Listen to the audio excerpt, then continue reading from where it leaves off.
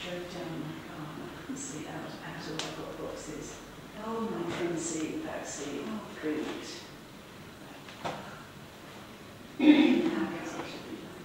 Oh, This is the car that's in the pond now, is it?